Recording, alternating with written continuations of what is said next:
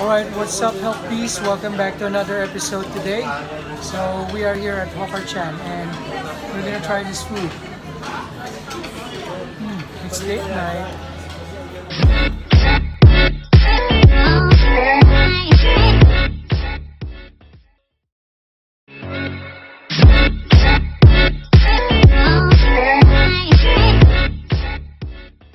Alright, welcome back. So, ito no, tikman natin ngayon to. Um, I've heard that uh, Hawker Chan is uh, Michelin uh, recognized or yung restaurant na mura pero Michelin yung level niya. So, for those of you guys na kagaya ko na hindi alam kung ano yung sabihin nun, I think it's a ranking for, uh, you know, top uh, resto yung Michelin. Kung napanood mo yung, ano ba yung comedy na ra, Ratatouille ba yun? Ano? Yung daga, di ba Michelin yun, Ratatouille. Michelin level yun eh. So, ito yung titikman natin ngayon. Yung galing nyo. oh. Nice ba? Tara, kain muna tayo. Alright guys, uh, tikman natin itong mga yan. Ito muna. So, nalo mo na ba? Hindi ko matamis to. Nakalimutan ko yung tripod ko eh. Mga lasang pansit canton lang. Hindi ah.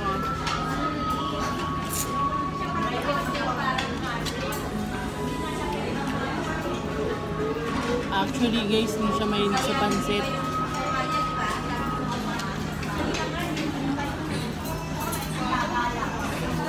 Sakto lang. Guys, tikman naman natin to. Salo daw. Sado.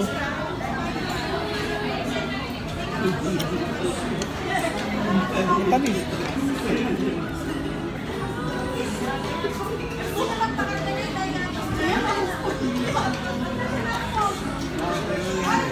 Sarap naman guys.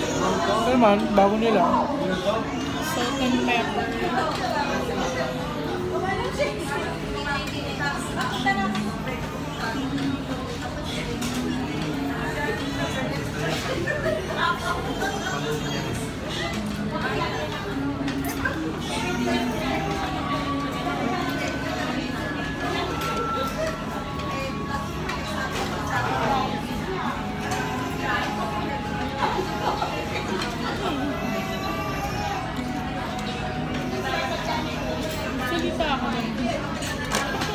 Medyo spicy.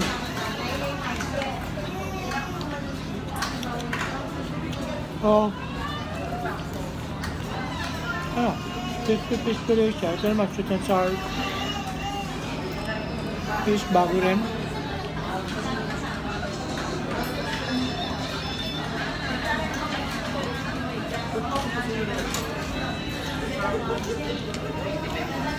Sarap din. Sarap. Authentic fish ba siya? Parang fish bowl lang. Fish cake. Fish cake siya eh. Parang uh, hindi siya fish fillet. Parang siyang fish bowl. Pero, ano na rin. Paano lang to? 128 lang. Ito? Soy chicken ba to? Anong tawag ito?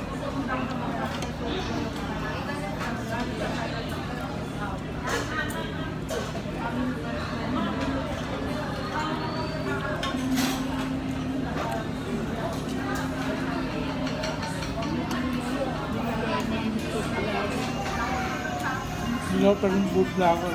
Ang sarap kumain. Hindi ko alam Ay, ko mag, ano, video ako pa, mayaan ka naman. ayaw.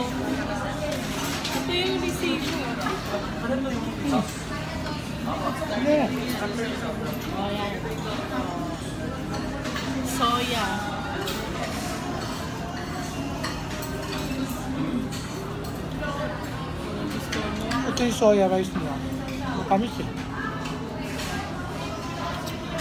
Gusto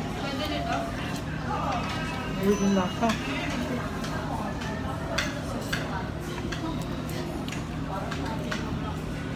oil oil oil oil siya ano hindi parang nasa burak bullet green na ano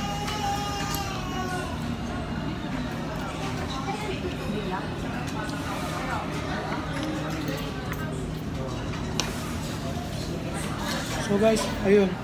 Uh, describe ko na lang sa inyo sa kain na ako. Nabibitin ako eh. Hindi ako pwedeng food vlogger. Okay? So there guys, um, let's uh, review this uh, Hawker Chan uh, food. So, ano nga to? Chasui Baro.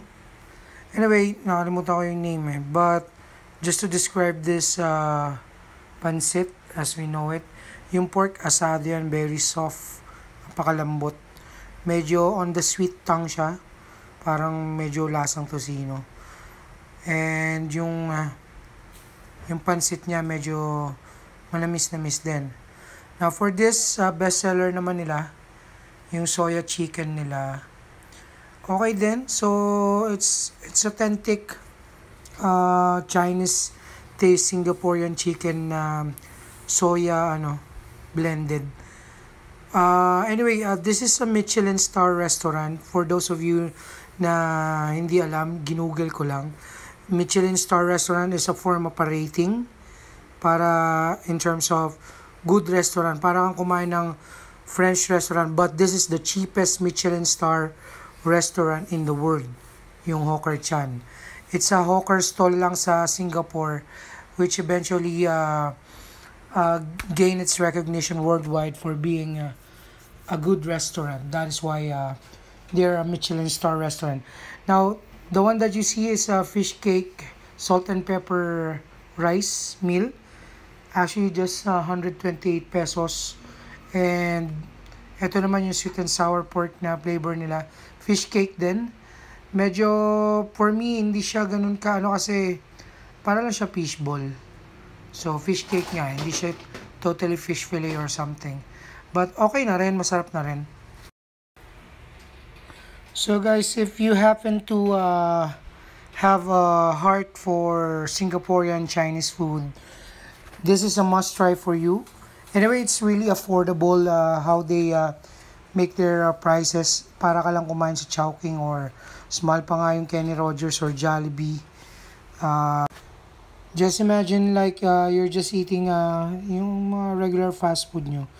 Uh, this uh, one is uh, on SM Fairview lang. Para sa mga Fairview peeps, QC peeps, you can try Hawker Chan. Dun siya sa new annex wing ng uh, SM Fairview para sa mga Fairview people. So guys, if you like this uh, video, pa-subscribe na lang sa Help Biz and we will do more videos like this, alright? Bye!